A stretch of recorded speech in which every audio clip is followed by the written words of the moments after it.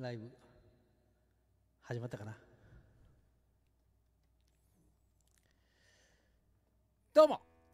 ボビーアートレザーのボビーです。ねえー。えー月曜日ね、えー今日はあ11月1日111ですね。えー。ようやく始まりました。えー。これでいけてるいけてるかどうかはあわかりませんがちょっとチェックしてみましょうかね。ねきえっ、とねスマホ。えー ちょっと待ってね。あのこれねいいつもあの日曜日はえーっとねえーあれですよ。日曜日はですね、えーイベントページみたいなのを作ってそこからあライブ配信をしてるんでですね。なんかこうその中イベントページの中でこう設定するんですけどね。まあここだけの話やからあの聞いてる方はちんぷんかんぷんやけどね。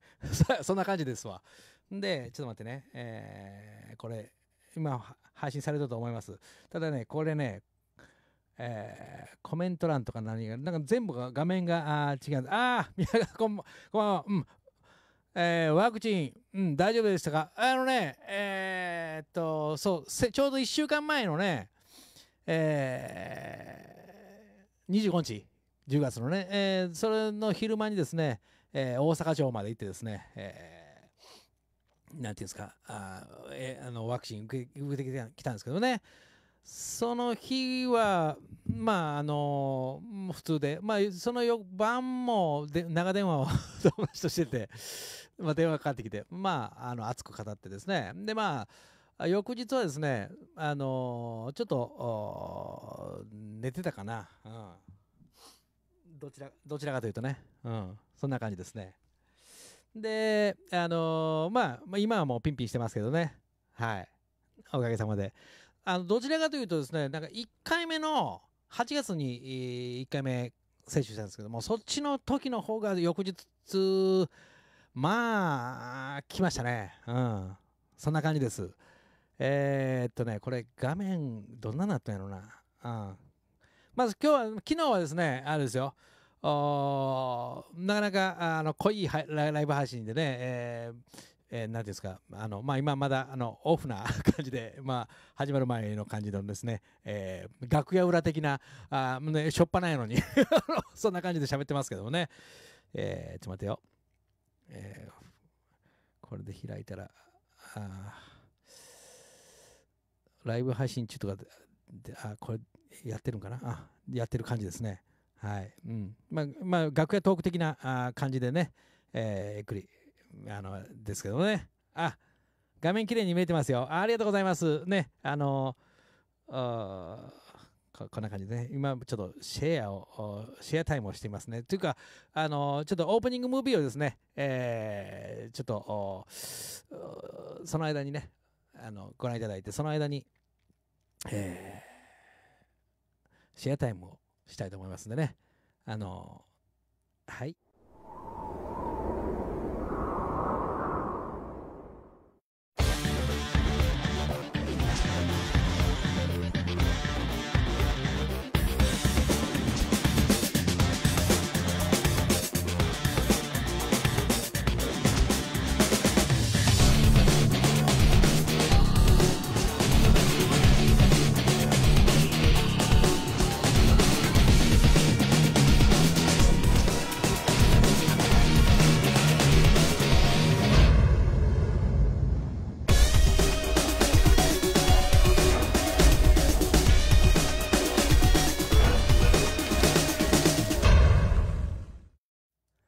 うも改めまして、ボビーアトレザーのボビーです。えっ、とですね、えー昨日に引き続き、まあ、まあ、あの、なんでこんなことしてるか言ったらね、あの、これのがちょっと喋りやすいがあって、まあ、慣れっていうのも、あれやけど、なんていうの、ライブの MC っぽくてね、あの、最初、もう最初この、えーボタイトルね、これ、ボビーのブランドデザイントークライブということですね。まあ、いろいろこう、ね、この月曜日の番組に関してはですね、えーなぜ7時からあやってるかというと、えー19時でしょ。やっぱこうブランドっていうのがもうある種軸というような気がするんですね。あのうんそれでじじじじじ熟時、えー、じ軸ということでね、まあ、そういう感じのコンセプトでですね、えまあ、月曜日、えー、やったらまあちょっと時間取れるかなという感じで、まあ、あの毎週の予定でいます。うん、まああのこれも、えー、いろいろね何でもトライアンドトライでね、えー、そのまあ、失敗っていうのは僕はあの成功の反対は失敗じゃないと思ってますんでね。成功の反対はですね何もしないことっていうことなんですね。やっぱこうなんかこういろんなことがあってこうね刷新刷新していきながらですねより良いものができていくというまものづくりにしろ何しろねそういう感じで、えー、思うようにはしてます。はい。そんな感じですけどもね。えー、ね、えー、まああの何ですかタイトルも、えー、ちゃんとねあれしたんですよ。こうね、ここういう感じで、うん、ボビーのブランドデザイントークライブでね、あの、ちゃんとしたんですけども、まあ、まあ、いいかな。そのリップノールっていうね、えー、ことをですね、先週ちょっとお話をさせてもらって、で、えー、その、第2弾、まあ、第2話というか、なんですけどもね、振り返りも兼ねてですね、えー、ちょっとね、お話をしながらですね、えー、まあ、あのボビー・アトレザーというブランド作りを僕が初めねやり始めて今こういうふうに、えー、しながらですね、えー、生き方と働き方をこう一致させるというか、うん、そういうライフワークというか、うん、そういうことをする上でですねまああの通ってきた道というかあなんかこう誰かのねやっぱこうものづくりをしたりとかあなんかね、えー、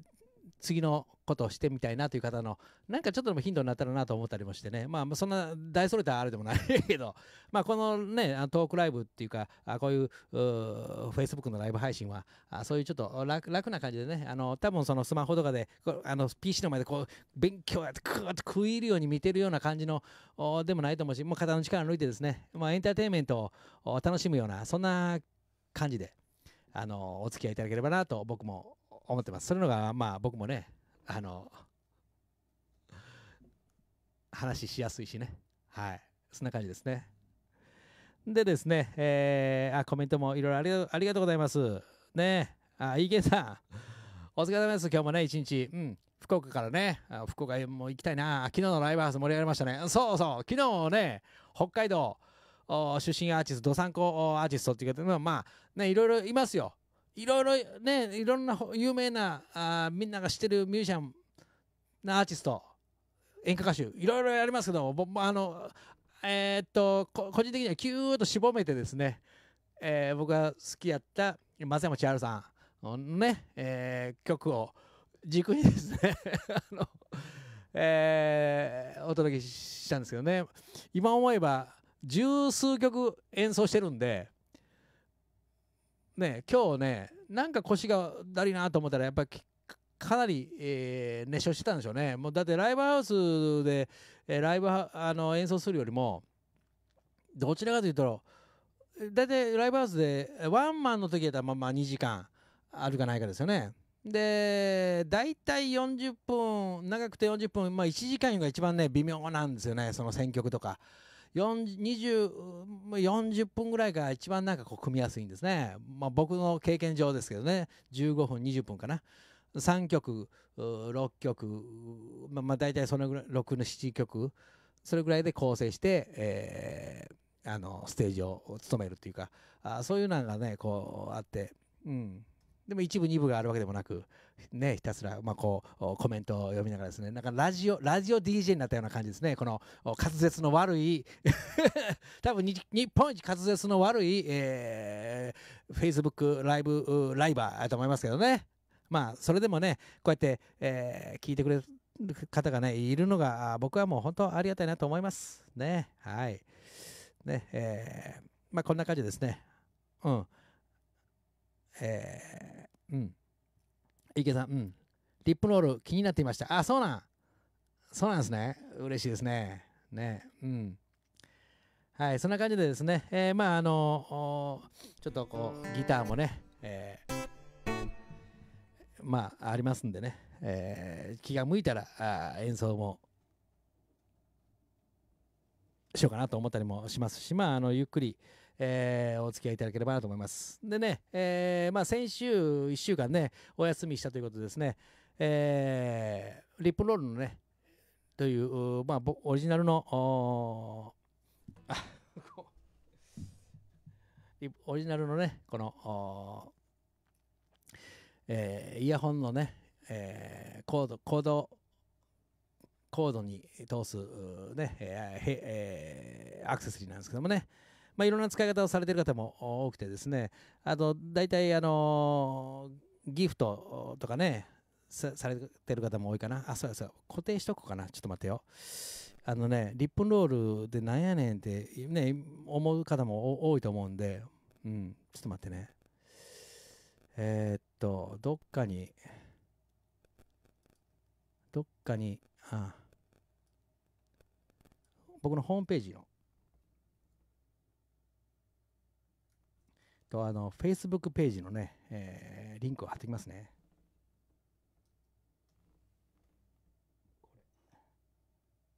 これどうやってね、出たかな。いったかな？うん。あ、ゆうどうさん、こんばんは。こんばんは。ね、昨日はあの Notion のおね、話をおー分かりやすくお伝えしてくれてありがとうございますね。ちょうど僕があライブ配信を終えて、ちょっとあの後片付けしてる時にね、うん、そんな感じ。これを、ちょっと待ってね、これを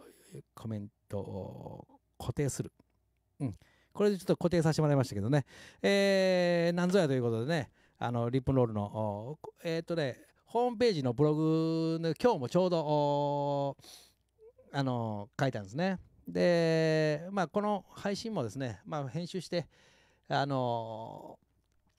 また YouTube にでも上げようかなと思いますけどね。ね。じゃあ今からそんな感じしようかな。今まではちょっとウォーミングアップ的な 感じでね、やってたんですけども、えーそういう感じで、えーまあ、あのーリップロールっていう、まあ、レザーアクセサリーですね。その話をしていきたいなと思います。それでは、えーちょっと待ってよ。まずはですね、え僕が作った映像、スライドショーをね、ご覧ください。どうぞ。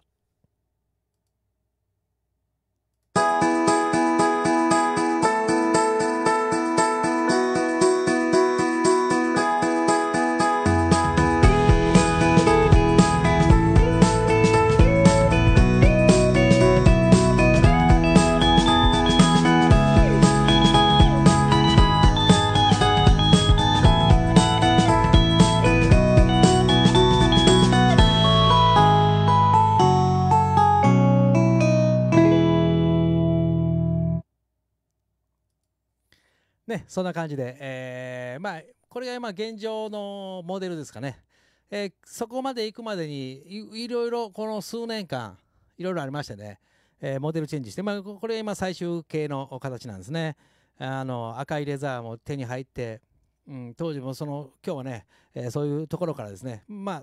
スライドを交えながらね、えーちょっとおお話ししていこうかなと思います。あのね、やっぱ一つのものができるまでっていうのはね、いろんなことがあるんですね。うん、出来上がりのものでもうこのちっちゃいものじゃないですか。ねここうこういうものやなと思いますね。ね、それができるまで生まれるまでというかこの形に作られるまでっていうのがやっぱりそのいろいろいろんな人の手がかかってあ関わってくれたりとかいろんな人のご縁とかねいろんな方のもうもう本当にねいろんなものも全部全てねやっぱ人があ運んでくれてくれたようなそんな気がしますね。うん、でですね振り返りっていうか、ね、写真をね最初の最初の発想はこれですよ。ねあのリップンロール風なあのこういうことをしたいなっていうねまあ最初はやっぱりこうおあれですねあの困りごとの解消ですよ。うん、困りごとのからですね、えーこう始まったんですね。はい、最初こんな感じで、えーそこから、えーね、まあちょっとそのイメージをですね、あの、まあ用途はね、そのコードクリップっていうか、あね、イヤホンの当時はまだそのイヤホンもコードレスじゃなかったんで。で、まあちょ、な音楽聴くのは iPad とか、あ、じゃ iPad っていうか、iPod とかね、えーウォークマン、要は、もうウォークマン的なものやったんですけども、ただもう、スマホがちょうど普及してたし、あのー音楽もそれで聴いたりとかね、してたら、してたりしてたんで、やっぱその、イヤホンの、なんていうの、もう3本の線じゃないですか、イヤホンってこう。それの、ね、絡まりとかがもう非常に困ったんで。で、まあ、それで、まあ、何かできへんかなということで、まあ、最初、ね、さっきの、この、えーちゃ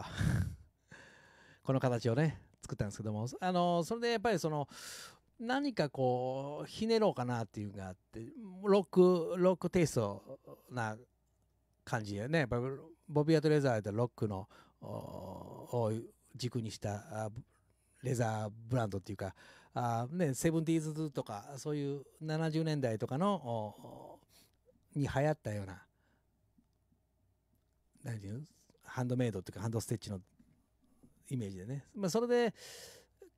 軸にしていろいろこう当時のその70年代のデザイン本とかねいろいろこう見ててですねやっぱこう唇とかのね、えーモチーフとかええなあ思ってねで当時僕ら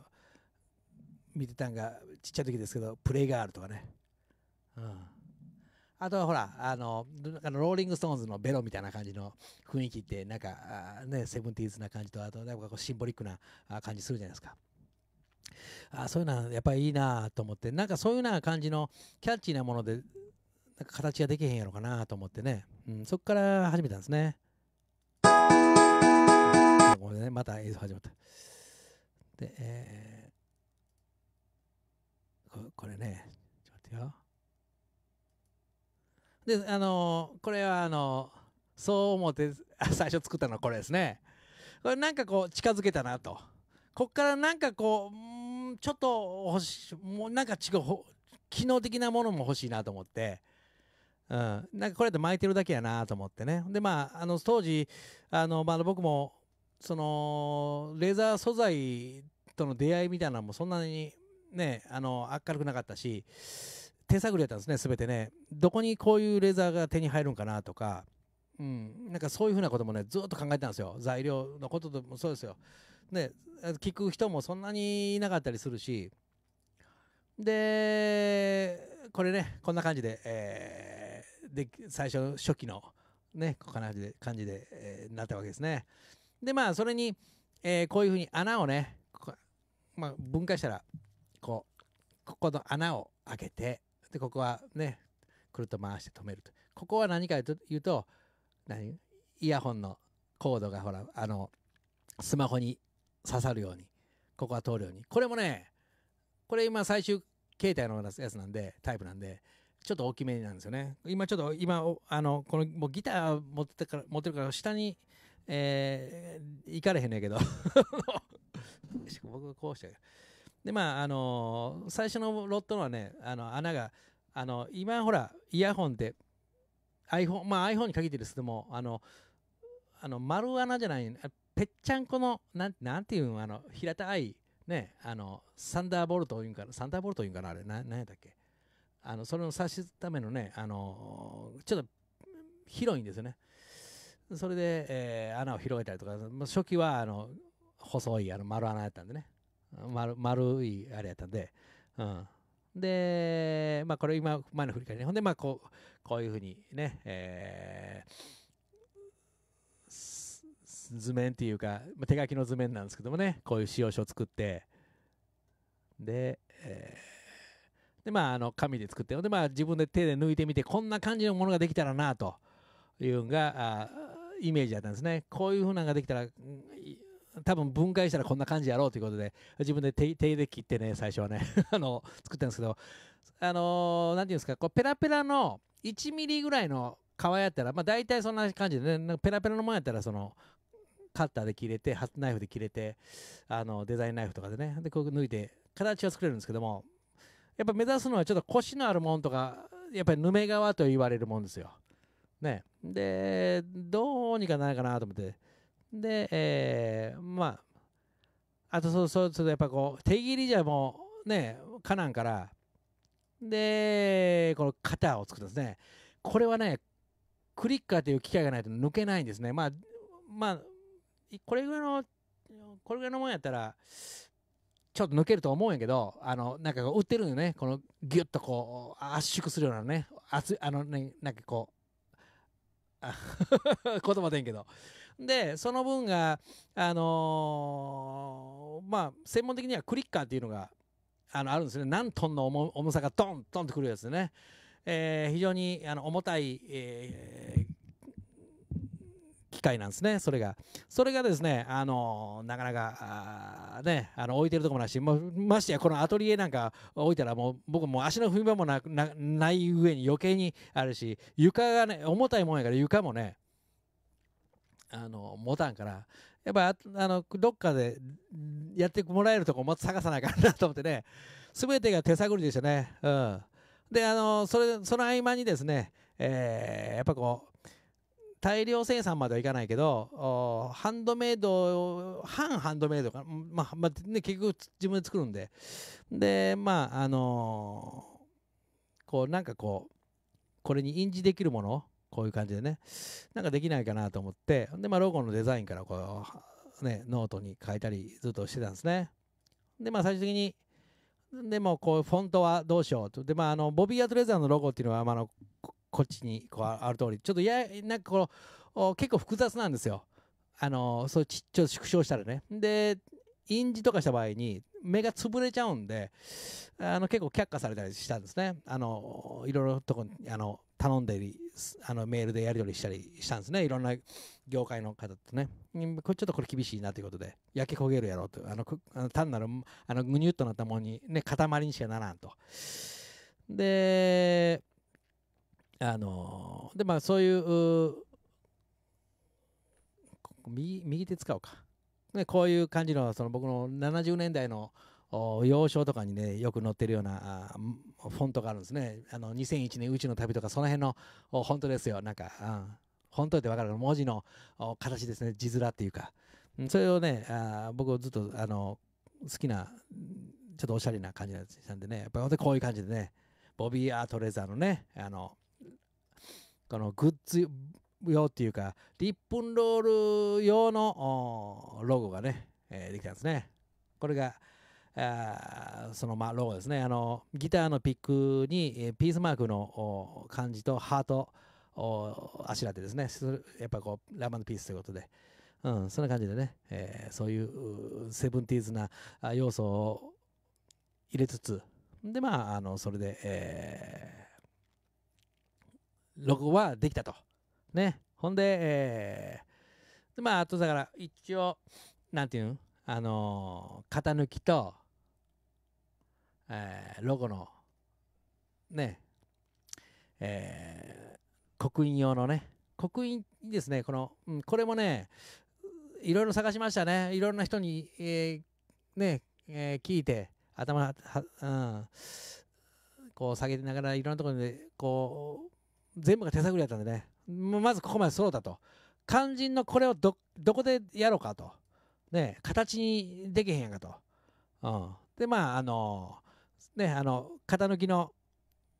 方でね、ちょっとこう、練習がてら、ちょっと、あの、アップドリにある、かあの、なんていうヌメ革があったんで、それを使ってですね、その歯切れでちょっと押したりしてね。うんけど、これちょっとな、ここ、これあの、今、ロゴみたいな、ロゴ、ロゴ、売ってるでしょ、これ。ロゴは、あれですよ、あの、素押しって言って、えー、っとね、そのまま要要は皮にグッと圧をかけてますね。うん、それそれやったらこんな感じなんですね。うん、で、も実際は今これ白をつけてるんですね。で、それもね、えー、ねいろいろこう押してみたりとかして、こうやって実験ですよ。で、これはですね、あのとある、まあ、あのいろんなメーカーのバッグとかを袋物とかを割とメインにね、えー、ずっと展開してるところがありましてね大阪に、えー、そそこでですねちょっと曲がりっていうか場所を貸してもらってですね、えー、その時間だけ少し機械を使わせて、ね、ご好意で機械を使わせてもらったんですね。こんな感じで、あの、クリッカーいうやつで、一個ずつこう抜いていくわけですよ。バッコンバッコンね。で、この皮は、皮もね、えー、ねこの、これ初期ロットのやつなんですけども、これもね、贅沢なんですよ、これ実は。えっと、エンジ色のね、ちょっとこう、やらしい色のね、エロ、エロい感じの。で、これをね、えー、2, 2枚貼り合わせて、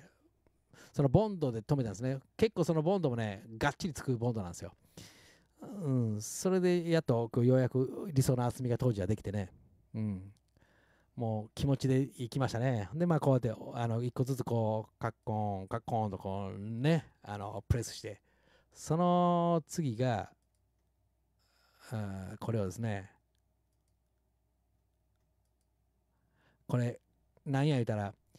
えー、今度は印字ですよ、この印字。ね、これを。ね、ホットスタンプって言うんですよ。これね、これね、押す押す前、これ型を作って、これ両面テープで止めてるんですね。黒いこの枠のやつあるでしょ。ここにね、一回、あの、その板みたいなのパコンと抜くんですよ。よくあの、ほら、帽子の、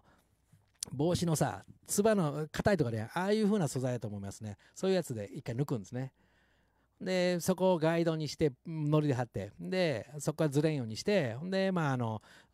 ロゴのですね、板をですね、上に貼って、ね、ほんで、ホットスタンプを押すんですね。ホットスタンプってこんなんですよ。この、こんな、こんな、なんかテープみたいなやつ。これを置いて、ジュッといくわけですよ。失敗もするけどね。うん。一個ずつこう、ね、白を押すんですね。白押しっていうんですね。要は。うん。こんなことずっとやってましたよ。ね。これをやって、で、えー、ね、こんな感じで、ね、もうできてできた時はですね、やっぱ嬉しかったですね。うん、あここまでできた、ここまではできた、ここまでできた。ね、ほんで、あのー、なんていうんですか、あのー、やっぱりね、ブランドロゴが、あのー、入るとですね、やっぱこう、ピリッとくるっていうか、責任を伴うというかね、なんかそういうね、えー、熱い気持ちになるんですね。はい。そんな感じですね。はい。で、まあ、これをですね、えー、これ、まあ、初期型のできた時のことですね。これは、まあ、あの、あの今、えー、なんていうんです、えー、この、Facebook のコメント欄のところにね、固定ページ、固定させてますけど、リップロールの、なんていうかな、えー、特設ページ、ホームページのね、と、あと、実は Facebook ページもあるんですね、リップロールのね。昔作ったんですね、これできた頃にね。ホームページを作るほどのものではないけど、ほんでまあ、大々的にするわけでもないけど、これを気になる方が、そのなんていうのな、Facebook ページにね、いいねをしてくれたら、それでいいなと、あの、してあの思ってね、そーっとね、あるんですね。はい。だから、あの、もしね、お時間、お時間じゃない あの、興味ある方はね、あの、Facebook ページもね、いいね押してもらえたら僕も嬉しいです。ね。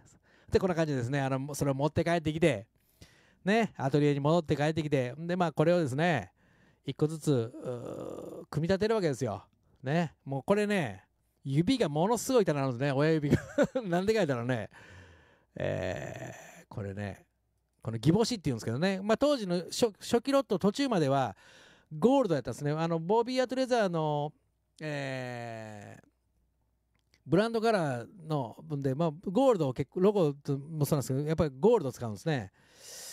うん、で最初の今はねシルバーになりました。ちょっと要望があってねシルバーにできませんかっていう問い合わせが結構ねあったんでもうシルバー 今全部シルバーにします。あのこの印字のこれも銀色銀銀色です。ねうん。まあ、関西は割とね、えー、銀金色があれやけど、えー、やっぱりシルバーのねちょっと落ち着いたトーンが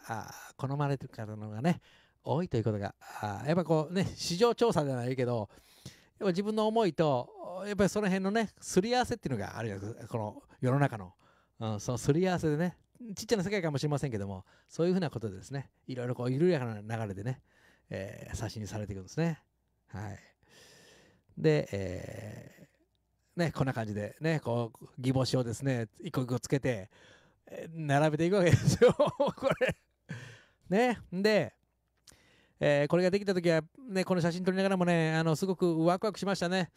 あの、なんか新しいものっていうのが、あやっと、なんかこう、なんて言ったらいいのな、まあ、ここまでになるまでに非常に時間がかかったんですね。うん。あの、思ってるよりも、あの、なんか、こう、何言う？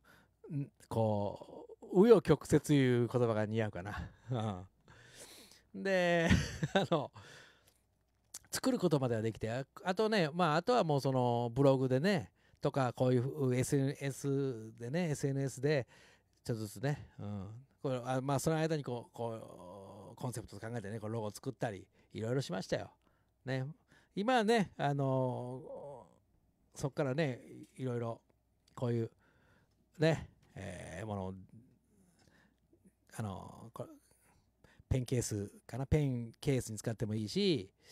えー、とあとはね、うん、携帯も入るかな。うん。iPhone、iPhone 多分入ると思うよ。これあともうね、あの在庫はもうほぼないんで、これ、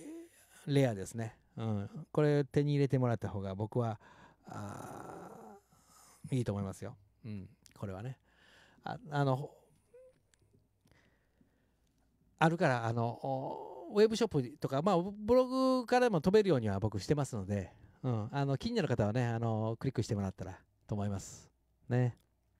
初期ロットはね、これね、すぐ完売しましたね。うん。で、ね、あとはもう、あれですよ、完成したら、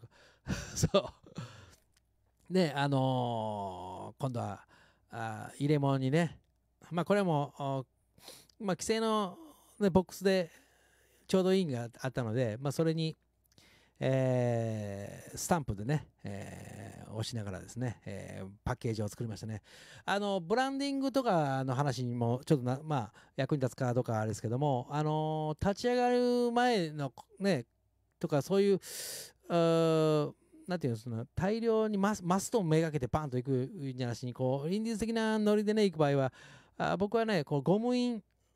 はおすすめします。ロゴをね、ゴム印にすることは僕はおすすめします。あの例えば、なんかパーティーとかするときに紙コップとかにね、こう押したりとか、あとね、あの DM の封筒でも何何でもいいと思いますよ。うん。まあ名刺入れみたいな紙いっぱいあるじゃないですか。ああいうのにこうボーンと押したりね。あのね、えー今、まあまあそれもね、ゆくゆくライブ配信でね、えーいろいろ、ね、この月曜日のね、この配信で、えー少しずつね、えーあの、あお話しできればなと思いますね。うん。あの、そういう、まだね、あの、量もそんないらんしとかいう場合は、僕はこういう風な使い方っていうのは非常に、えーいいかなと思って、あの、こういう感じで、えー作ってます。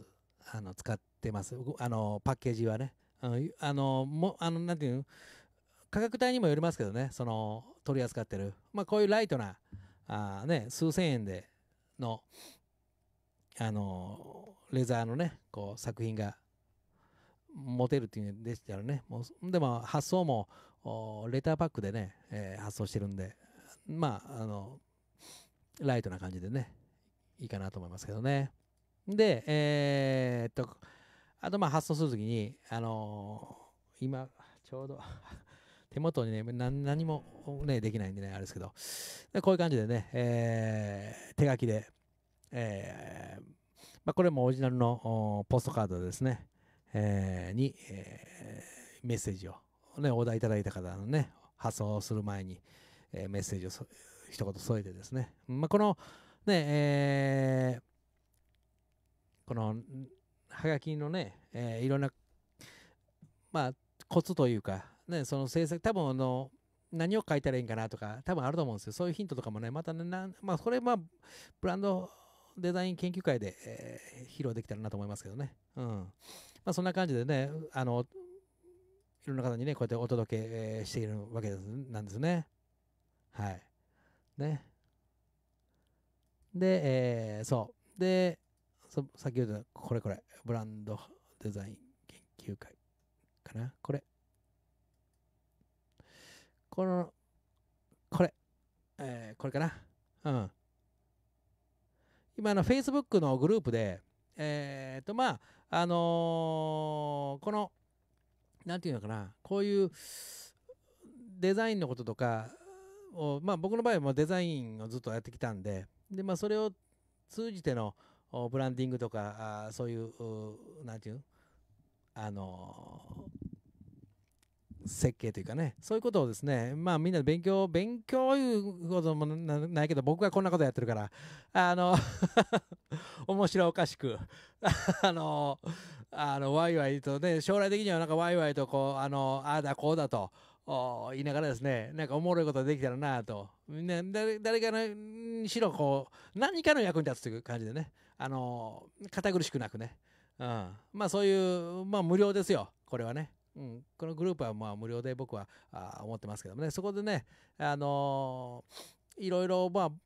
まあ、今後は、えー、っと、まあ、もうちょっと内容の詰まったような話とかはね、あの具体的なこと、まあ、内容詰まったというか、どっちかというと具体的に近いようなこととかは、あこのね、えー、グループで、グループ内配信をね、できるようにしようかなと思ってますけどね。うん、それはあのこういうあのギター持ってやるかどうかはあれですけど、うんまあ、そういう感じでねあのまああの質問が3つの質問ありますけどね、うん、あのなんていうかなグループにね入ることでほら僕もそうやけど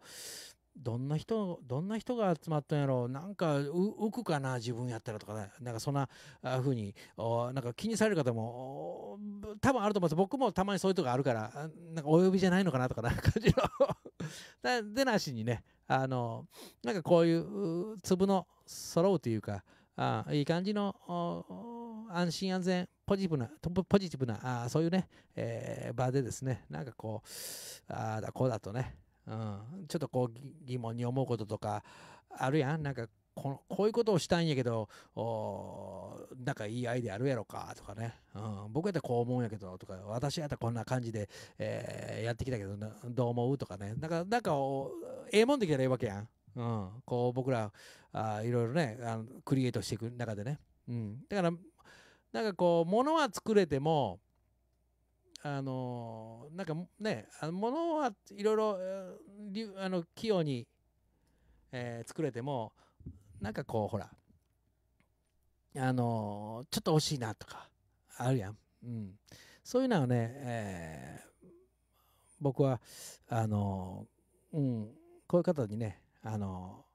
参加してもらえたらあ僕もねものづくりのやってる感じでね、まあ、まあ、どっちかというとインディーズなインディーズバンドのようなあ活動でね、うん、やってますんでね、あのー、ここのね QR コードでね、あのー、パソコンの方は読み込んでもらえればと思いますけどね。うん、なんかそんな感じでね、えー、まあ、あのこのボ,、ね、ボビ・アトレーザーのいろいろなあやってきたこととかやってることとかで、まあまあこんな人がやってるんじゃないがもうもうあの何ライブ配信やったらね、あの、ごまかしは聞かへんし、うん、そんな感じで、ね、やってるんでね。あね、こう僕も書きますよ。何かに役立つ月一勉強、ね、月一勉強会、何かに役立つ。ね、この何かが、あ僕もこれからね 楽しみにしてますけどね。まあ、まだその、まあそういうふうな、ね、なんかこう具体的なこともこれからあのクリエイトしていこうかなと思いますしね。これやっぱりね一人で考えてもねできるものでもないような気がします。こういうなんてね。なんかあのそういうなメンバーが集まってそこでなんかいろんなディスカッションがあったりとかなんかこううん。なんかまあ僕と一緒に絡まあ絡んで遊びたいという、ね、遊びながら何かこう仕事にも役に立てたいなっていう方がね、え、一緒に、えー、楽しく 過ごせる同じ時間を共有できたらなと僕はそういうふうに考えてます。ねえー、もしねあの気になる方があったらですねこのブランドデザイン研究会ねえー、まああのフェイスブックページでありますんでね、えー、なんかあのググってもらえよググるあれググるって言うんやろかこれねあのまああの 探してください 見てやってください。ね。まあ、あそんな感じでですね、まあ、この月曜日の配信はですね、えー、僕のおやってる悲し、ね、こやってる普段まああの、えー仕事っていうかライフワークとして、えーしてることとかを交えながらですね、えーなんかこう、えーボビア・トレザーのこともね、えー参考になればなと思ってね、うん。えーライブ配信をねやってます。はい。よいしょ。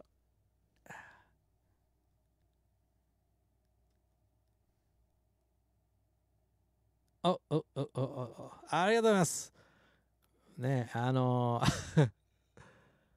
あ、意見さんかな。うん。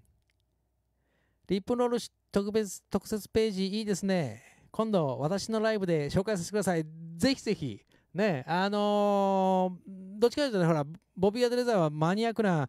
あね、あのーもうほんまマンツーマンの、もうオーダー、ね、そのいただいた方のためだけにこう、ね、こう、制作したわけでしょ、制作を。で、まあ、それとはまだね、こうライトな感じでね、あのオーダーするわけには、オーダーするわけでもないけど、なんか革のもんで、なんかなんかちょっと可愛いもん欲しいなとかね、あここんなんなんか好きな人もおるなとか、うん、そういう方のためにね、あのだから割と間口を広げてるようなあ感じなんでね、ありがとうございます。あいろいろあ見てくださってありがとうございますね。ちらっとね、うん、あ原田さん、お疲れ様です。こんばんは。ねありがとうございます。あ仕事中ですがこっ、こっそり見ています。あそうですか。ありがとうございます。またね、あの、ゆあのアーカイブこれ残すから、あの、あの主要なとこだけね、キュッと、キュッと見てくれたら、あそれで、で、あの、何かお役立てください。はい、ありがとうございます。あ、ゴム印もかっこいいですね。あありがとうございます、いげさん。あ、そう、ゴム印はね、あの、僕ね、スタンプね、何パターンか作ってるんですよ。このパターンが一番最初に作ったのかな、僕が。もう10年以上前 けどね。うん。ロゴも、ちょっと、あの、今のロゴとはちょっと、ちょっと違うんですけどね。まあまあ、今も、そんなね、あの、違いはないんで、たまに使いますけど、今はね、えまた違う感じで、のものをね、英語表記のね、あの、親は、あの、ウェブアドレスとか、もろもろね、書いてる感じの、あの要はもうもう名詞がない場合にポンと押したらええような感じで作ってますね。えーそれとは日本語かな。うん、それはねあの、レターパックで発送するとき用にポンとね、あらかじめ押しとくような感じの両方作ってますね。もう何でも使えますよ。英語やったらなんか、ええ感じに見えるじゃないですか。あの はい。あ、せいじさん。あ、こんばんは。このメッセージめっちゃ嬉しかった。あありがとうございます。ね、もうせいさん、本当にね、あのー心優しいね、あの、方でですね、ご家族大好きなんですね、僕も。せいもう中村ファミリー。うん。やっぱせいさんとこね、もうほんまにな、あの僕もね、手紙書くたびに、うん、はがきのね、メッセージ書くときに、やっぱりこう、せいさんの、ね、ご家族の顔をですね、いつも思い浮かべますね。はい。うん。ありがとうございます。いけんさん、あ、い今日いけんさん、あの、絶好調ですね。コメントの星屑です。コメントありがとうございます。そういえば、ボビー、うん。林ゆりかさんの PMC 受けたことあるんですか？えあのね、ゆゆりかさんのはね、僕はないね。うん。あの、全部我流よ。あの、こういうのは全部ね。うん。そんな我流でね。えーまあ、これも一応ね、まあ、あの僕がデザインして、ね、この側もねあの見よう見まねで、うん、そんな感じでねあの、まあ、本当はいろいろ型がね皆さんあるんであのええ感じで作ってはるのはね僕も本当に、すごいなと思う思うけどね僕はねこう全部ね、えーとあのずっと、えー手作りでやってますねはい。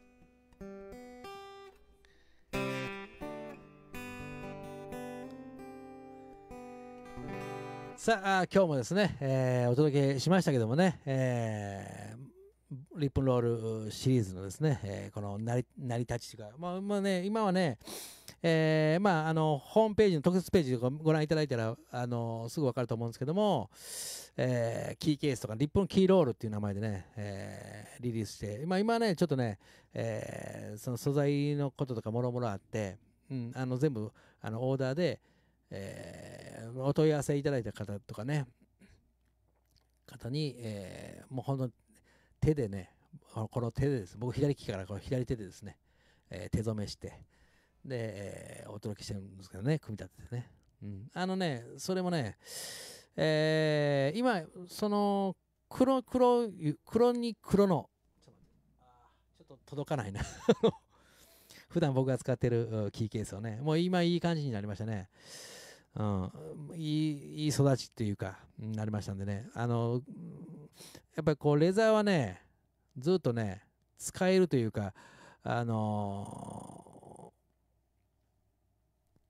ーなんていうの？いい感じの経年変化というか、うん、そういうのがね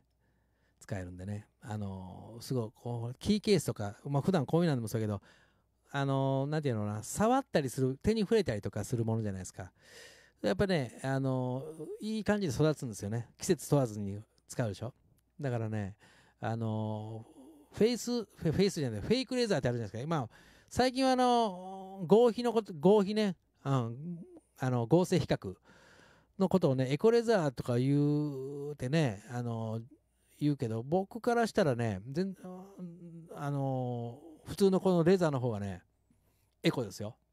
もうこれははっきりまあ思いますね。あのやっぱりねこう時間が経ってもレザーのものってパッと最初見はねあの何でもそうなんですけどこういうのは何でもそうですけど一緒な感じで、ね、値段で測った場合に全然やっぱ元々のコストも違うしね。違うんやけどもあれよ。あのーなんて言ったらいいのな。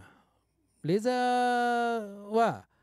こうなんていうの使っていくたびにですね深みが増してねなんかこう寄り添ってくれるというか、うん、いい感じに育ってくれる育ってくれるんですね。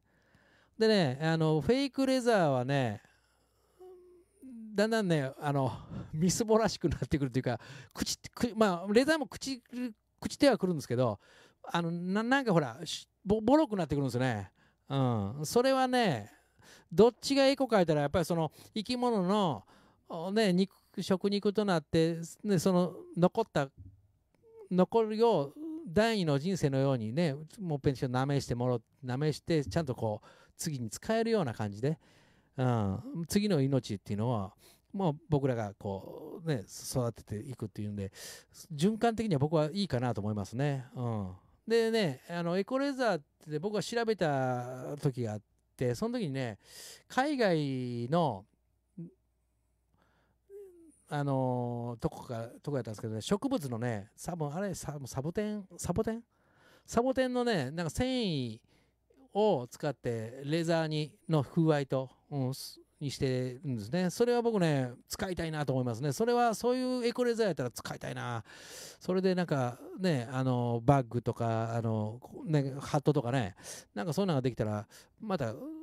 あの、ね、ハンドメイドで作ってますから僕なんか特に、うん、あの なんていうの？スロースローライフのようなね、うん、デジタルかアナログか分からんような。あそんな感じでね、うん、そんな感じでねやってますね。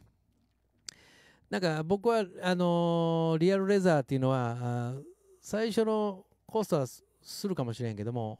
やっぱり長いこと長い目で付き合えるしあとそれはやっぱり譲り渡したくなるじゃないですか、うん、次の代まで、うん、それとか味が味わいがあって自分だけのこう色合いとか風合いというか、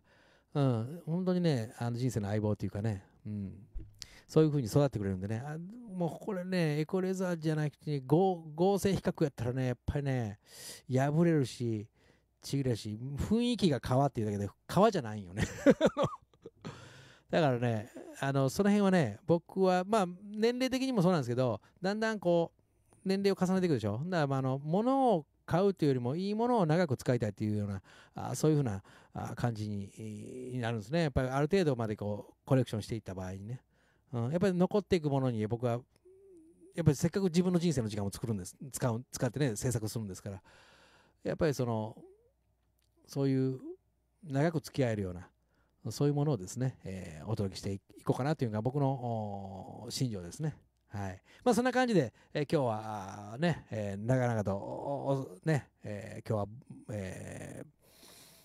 リップンロールのね、開発秘話をね、まあ1、今日は2位ですけども、まあ1、1のところもまあ、ちょっとかいつまんでね、あの全体的な感じで、えー初期の、初期型が完成するまでのね、えー道のりをですね、足早に、えーお話しさせていただきました。またね、えー来週は、まあテーマはね、どうしようかな。まあまあ、そういう感じで、えーいろいろ作り上げあね、この、この番組はですね、こういう、なんかこう、セッションっていうか、なんかあった時にね、こう、また、緩やかに変わっていくと思いますし、まあ、あの、テーマ決めて、まあ、また、あの、アナウンスさせてもらいます。それではまた、お会いしましょう。えー今週もね、素敵な1週間をお過ごしください。1月1日、じゃあ、じゃあ11月1日の 1, 1並びの日にね、えーお付き合いいただきありがとうございました。ボビーでした。じゃあね、バイ。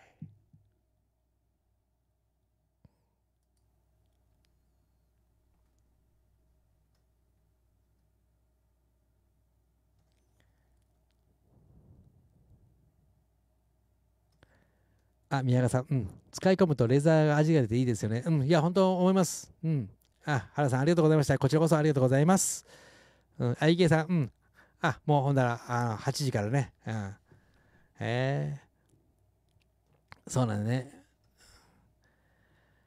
またね、今日はね、ありがとうございますね。皆さん、本当に、あの、月曜日のね、あの、お忙しい中、お付き合いいただき、本当に感謝しています。またね、これもアーカイブに残してますんでね、えーまたご覧いただければ幸いです。それでは、またお会いしましょう。ボビーでした。じゃあね。